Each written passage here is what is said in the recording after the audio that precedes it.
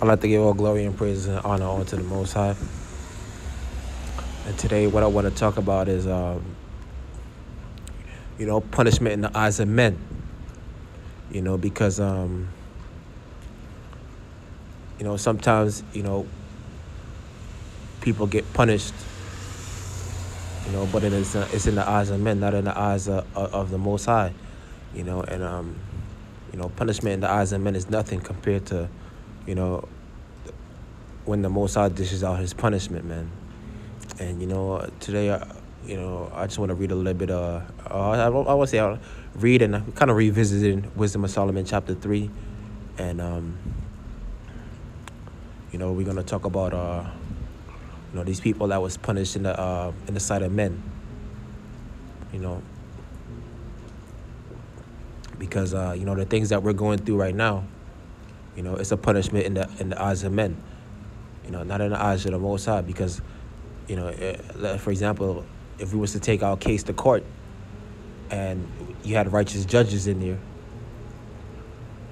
you know, we would come out on top, and that's why, you know, these programs exist. You know, it's to pervert the uh, the ways of judgment. That's why these secret societies exist is to pervert the ways of judgment. You know I mean? Um, men govern themselves by their law, their own law, but not the laws of the Most High.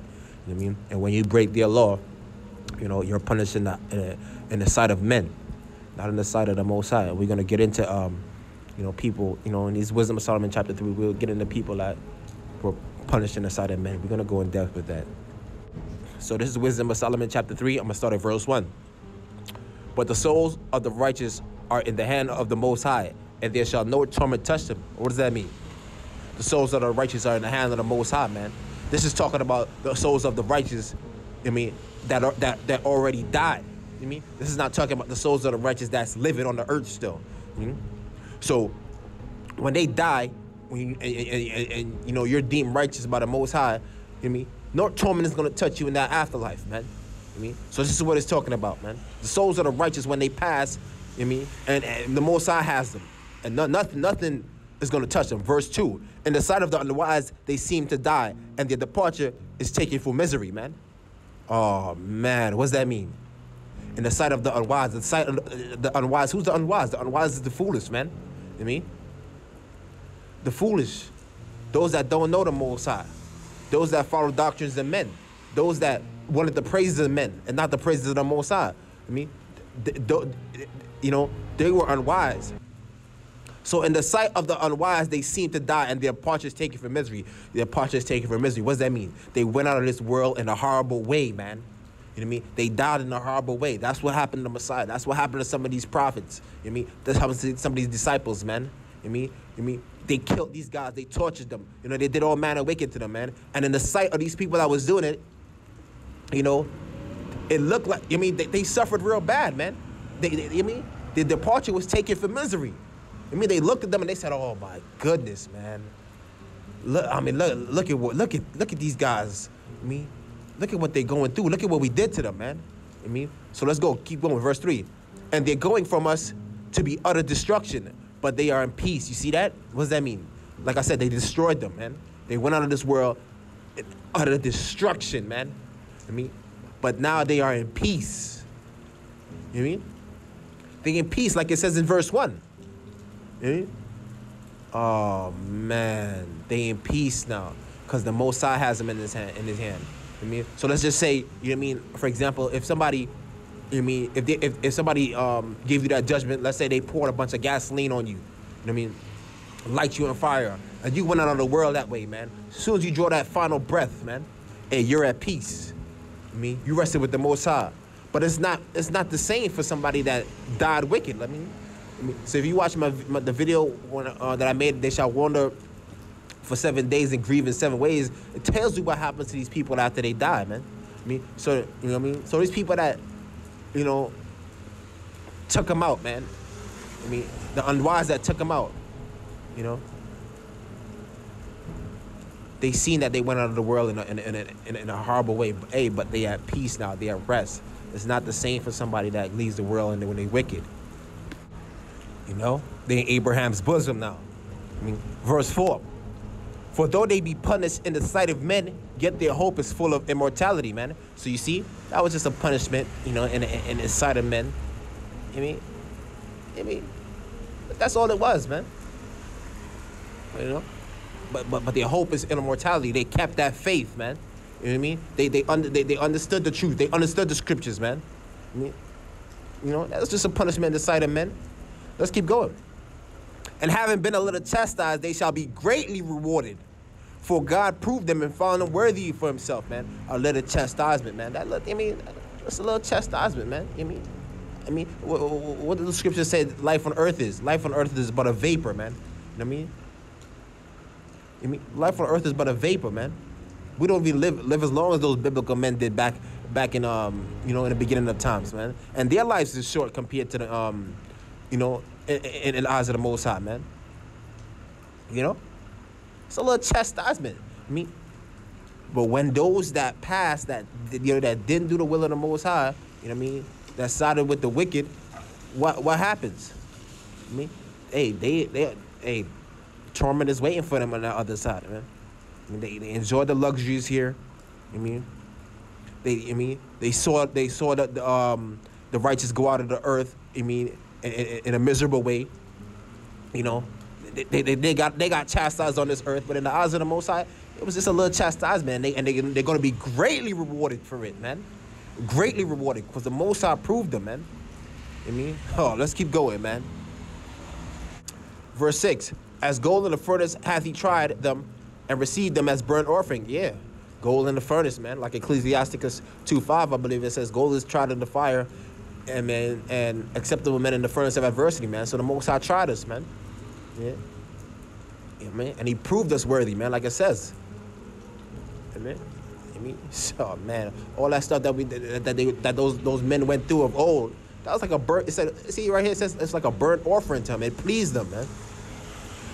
Verse seven, and and in the time of visit of their visitation, they shall shine, and run to and fro like sparks among the stubble, man. Yeah, their time of visitation, man. So we're gonna be like angels when I mean when, when, when that day of visitation comes, man.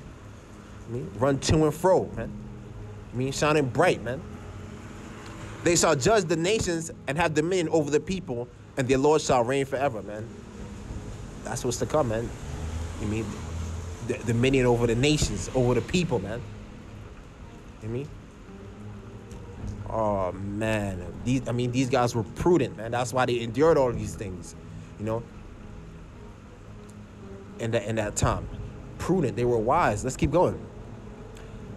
Nine. They that put their trust in him shall understand the truth. Those men that went through all that, women that went through all that, that persecution, and all, I mean, they went out of the world that horrible way. You mean, I mean, those disciples, those prophets. You mean, they understood the truth. That's why they endured, man. You mean, you mean, they put their trust in the Most High and they understood, man. And such as be faithful in love shall abide with him. For grace and mercy is to his saints and he hath care for his elect, man. Amen. I mean, so the Most High's gonna take care of his elect, man. I mean, those that put their trust in him. That's why. Was, that's why they went through it. Mean, because they understood what was going on, man. I mean, they didn't reject the truth. I mean, when you reject the truth, you mean you side you, you side with the doctrines of men.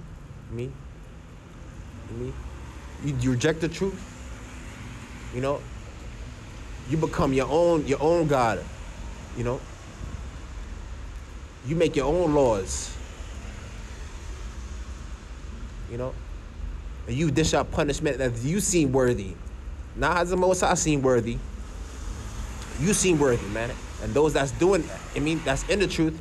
Hey, they're your enemy now. So let's keep going uh, verse 10 but the but the ungodly shall be punished according to their own imaginations man what does that mean the same things that they came up in their hearts to do to you is going to be done to them i mean which have neglected the righteous and forsaken the lord man exactly yeah they, like i said I mean, and it's all good because you know, according to the scriptures, they're not supposed to agree with you what you say. You know I mean, they're not. You know I mean, they're not supposed to be everybody ain't gonna be listening to you in agreement with what you saying, man. I mean, They neglected the righteous and forsaken the Lord to follow. I mean, you know, the doctrines of men and dish out punishment that I mean in the eyes of men, not in the eyes of the Most High, man. Oh man, I'm gonna stop right there for a second. You know, so I just wanna I wanna go back to um you know the first five verses, man. You know, and, and we see these first five verses, man. You know, it talks about the punishment that they received, man. And you know, as I'm as I'm reading this, you know, you could also go back and connect this to Hebrews chapter 11, man. Um, you know, and I'm gonna read a couple verses from that. You know, you know the, the, things that they went through right here. You know about them being chastised. You mean, you know, the things that they went through. You know, how they went out of this earth in utter destruction. You know, it talks about this in Hebrews 11 too. You could connect. I mean, Wisdom of Solomon chapter three to Hebrews 11, man. Let's let's let's let's look at that. Hebrews 11, 35 through 39. Women received their dead raised to life again, and others were tortured, not accepting deliverance that they might obtain a better resurrection, man. And others had trial of cruel mockings and scourgings, yea, moreover, the bonds of imprisonment, cruel mockings, right? trial of cruel mockings. What does that mean? You mean? It's, it's like what we going do, man. As um, you know, target individuals, man. I mean, this is a trial of cruel mockings, man. I mean, and, and scourgings. People get imprisoned over this, man. I mean, they were stoned. They were sawn asunder. They were tempted. They were slain with the sword, man. They wandered about in sheepskins, sheepskins and goatskins, being destitute, afflicted, and tormented, man. Same thing going on back then. Same thing going on today. Except we, hey, we not stoning, you know, people. You know what I mean? You know, we and people ain't battling with swords and stuff like that no more. But it's the same thing going on. We just using modern day weapons, man. They still tormenting people out here. You know what I mean? But they doing it with, with you know with, with, more advanced technology, man. Of whom the world was not worthy. The, look at that, man. Of whom the world was not worthy. So the world was not worthy of these people that endured these things, man. Because a lot of these people they came to do the will of the Most High. You know mean? I mean, he wasn't worthy of uh, uh, uh, Yeshua HaMashiach. He wasn't worthy of that. You know what I mean? Wasn't worthy of, of, of those, those, those, those, those, those disciples and those prophets, man. You know I mean? These, these guys went out of the world in a, in a horrible way, man. The, of whom the world was not worthy. They wandered in deserts and in mountains and in the dens of caves of the earth, man. There ain't no way for the righteous people to be living, man. You know I mean? Wandering about in, in dens and caves. But this is what they had to go through. I mean, while others, eh, you mean, they, they, they I mean they lived lofty. You mean? You know?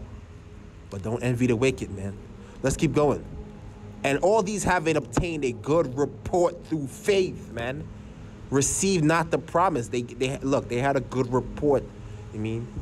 I mean in the kingdom through uh, uh, they kept their faith and they went out of the world in a wicked way. They endured that. that I mean, those, those trials of cruel mockings for their entire lives, man, until they died. You mean, they got it locked up. They got in prisons, man. You mean, you mean they got tortured. They got afflicted, but they obtained a good report, man. Now other people, I mean, like I said, like it says in um, you know, in the Wisdom of Solomon chapter three. Let's go back and look at that. Uh, verse two. In the sight of the unwise, they seem to die, and the departure is taken for misery. You see that? You mean the sight of, in the sight of the unwise, the ungodly. You mean? But they obtained a good report, man. So like you know when you out here and you you know these people are looking at you and they, I mean they may laugh, they may, you know me, think it's funny. You know they may see you going through all these torments and the affliction. I mean, you know they're unwise, man.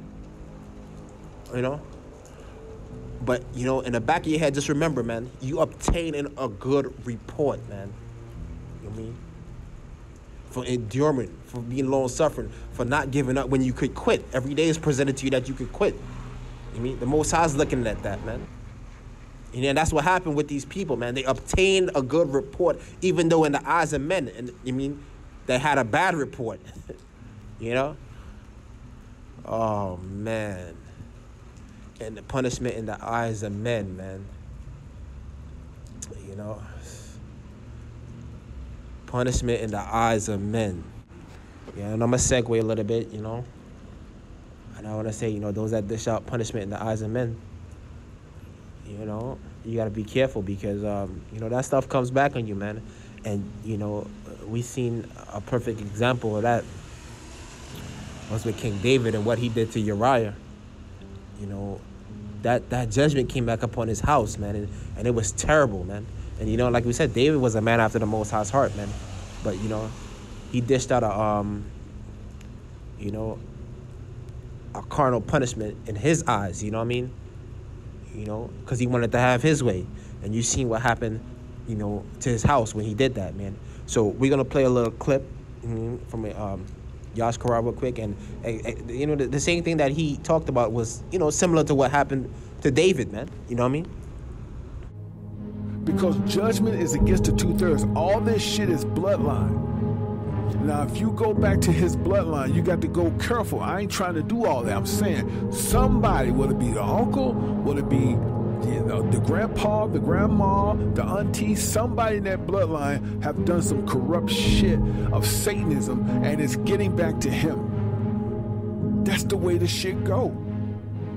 How you think the Most High will let a dope dealer have children? You know, like in essence, a dope dealer makes, you know, go have a wife and have three, four kids, and there's 15, 18, 20 beautiful children, right? But that daddy done killed so many people because people done fucked off on his drugs and ain't paid back their debt, but they don't know that. So now they're 35, 40 in life, and the Most High has it down the line. He, this is how he does it. That daddy's still alive. He in his 60s now but he made sure that he stayed alive so his kids could die before him and they dying tragically. The daughter is raped, the son was beheaded, and it's such a why would this happen to this? This a good man, but what you didn't know when that man was his late twenties and thirties, he killed a numerous amount of people for his drug money. You understand? So the bloodline is real. So the Most High ain't gonna get you right now. He gonna wait till you up in age, so you proud of your children. And when you think they get ready to do good, he have somebody come by and kill them, and that kills you. You dying slowly. That's re- that's recompensing. So you see what he described, and I mean, was a judgment that came back upon the house of somebody that did all manner of wickedness. You know what I mean? You know, in the early stages, man. And that, that's that's what happened to David, man that, that's similar to what happened to David, like later later on in his years. You know what I mean? You see that um, you know what I mean? Uh, I want to get the names mixed up. What Ammon, what Ammon did to his sister, and then you had Absalom that came and killed Ammon. Then you had Absalom that rose up again and tried to take the throne. Then he ended up getting killed. Then you had Solomon that killed one of his brothers. You know what I mean? You know, it was it was just you know just turmoil you know, on, on that house, man. And, and I believe that was, that was that was a punishment punishment for what you know I mean. You know, David did to Uriah. You know, you know, you know, it continued. You know, so um, yeah, man. We see that that um that judgment comes back. You know, and know, don't worry about punishment in the eyes of men, man, because it's just a, just a little chastisement, man. You know, you know, like I said, it's being prudent, being about being prudent. I mean, looking towards the future, man. I mean, you know, because I, I mean, I could guarantee you, you know, I mean, if some of these guys could see their future and, and what holds in the afterlife, they would drop everything they're doing right now and be like, look, I'm gonna go through this torment. I mean, I'm gonna go through this affliction. I mean, but you know, they're not they, they, they, they, they're not prudent. They can't see that. Um, I mean,